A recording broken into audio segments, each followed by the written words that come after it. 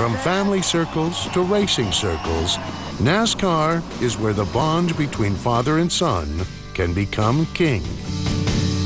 While sons inherit their father's names, daughters inherit their hearts. Every dad is their daughter's hero. Every daughter, daddy's princess.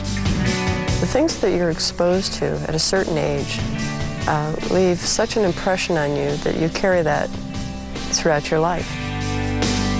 For Jack and Susan Roush, family ties weave a racing fable.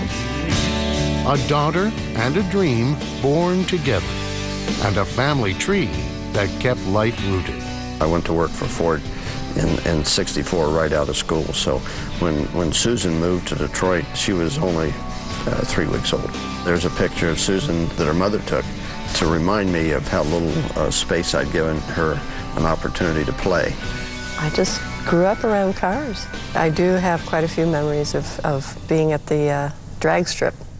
It was a natural progression. You know, we drag raced, and then I wound up really focusing on building the engineering business. One type of racing, one type of motorsport competition just kind of flowed into the other. Right. He sees the checkered flag ahead. Mark Martin wins! Led by a former school teacher who learned from his family, Roush Racing graduated into a five-car program. And all the ideas and all the innovations that Roush has is just unbelievable. And he has it all orchestrated into one big company. It's just a great thing. For the Roush family, the sky was the limit. Then, the heavens fell. April 19, 2002 was my 60th birthday.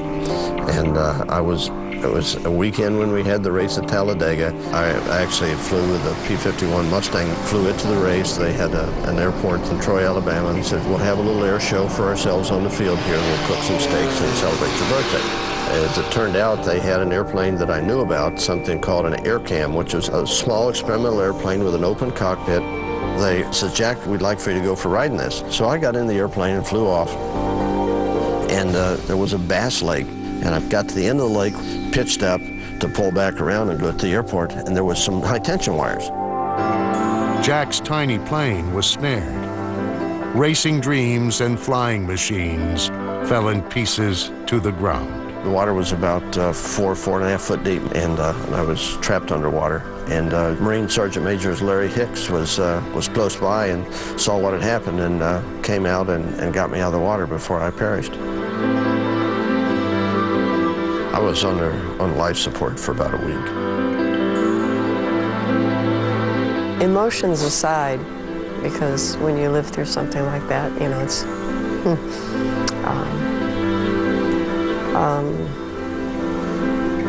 hmm, walked into the room and you had tubes coming out of you everywhere. There was a long period of uncertainty. The family withstood the storm. Roush Racing won back-to-back titles in 2003 and 2004, the last Winston Cup and the first Nextel Cup. From seeds sown by Jack's guiding hand, the family tree branched out. With a fairy tale life and a fairy princess of her own, Susan rediscovered her father's racing roots. In 2008, Susan competed for her first win. This was the life a daughter had inherited. Racing dreams carried on butterfly wings. She does. Runs a 1071 on a 1071. What a job for Susan McClellan out of Livonia, Michigan. It's very, very wonderful to be able to share that with my daughter the way I grew up. You know, just to know that the things that she's experiencing are very much like what I experienced. I had no idea what where that was headed, or I probably would have taken uh, taken leave. uh, I think it's too late for deniability.